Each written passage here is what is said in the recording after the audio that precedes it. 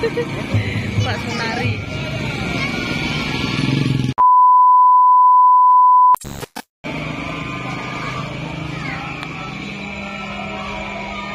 Nah, seperti ini teman-teman situasi suasana malam takbiran saat Hari Raya Idul Fitri.